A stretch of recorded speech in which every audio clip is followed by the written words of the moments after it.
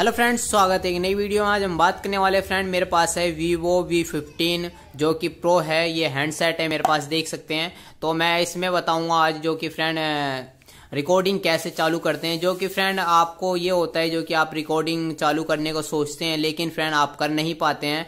तो सोचते हैं, फ्रेंड, मैं, आप प्ले स्टोर से जाके ऐप डाउनलोड कर लेते हैं। उससे क्या होता है फ्रेंड, तीन चार रिकॉर्डिंग होता है, लेकिन और उसके बाद फिर सही से नहीं होता है। तो फ्रेंड, आप फ़ोन से भी क्यों नहीं कर लेते? जो कि फ्रेंड, आप फ़ोन में आपके होता ही है तो आप फ़ोन में क्यों नहीं कर लेते? जो कि ओनली एक सेटिंग करना होता है।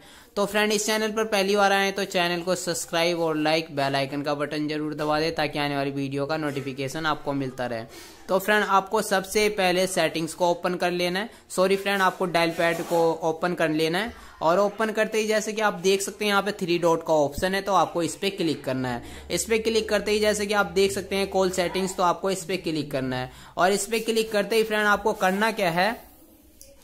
यहाँ पे देख लेना है कॉल रिकॉर्डिंग जैसे कि कॉल सेटिंग्स जो है आपको इस पे क्लिक करना है। इस पे क्लिक करते हैं यहाँ पे आ चुका है आपको ऑल कॉल पे करना है या आपको सिंगल एक ही कॉल पे करना है। जैसे कि आपको एक ही कॉल पे करना है तो आप एक कॉल पे कर सकते हैं। अगर आपको ऑल कॉल पे कर और कॉल्स पे करना है तो आपको इस पे कर, कर सकते हैं। इस पे करके फ्रेंड जो भी आपका कॉल आएगा जो कि बहुत सारे कॉल आएँगे तो आपका ऑटोमेटिक जो कि कॉल रिकॉर्डिंग होने लगेगा।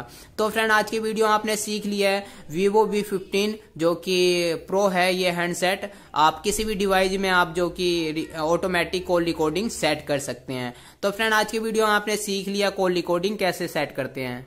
तो फ्रेंड आज के वीडियो में बस इतना ही। शेयर सब्सक्राइब और लाइक बेल आइकन का बटन ज़रूर दबा दे ताकि आने वाले वीडियो का नोटिफिकेशन आपको मिलता रहे। मिलते हैं नेक्स्ट वीडियो में एक नई टॉपिक के साथ। तब तक के लिए नमस्कार।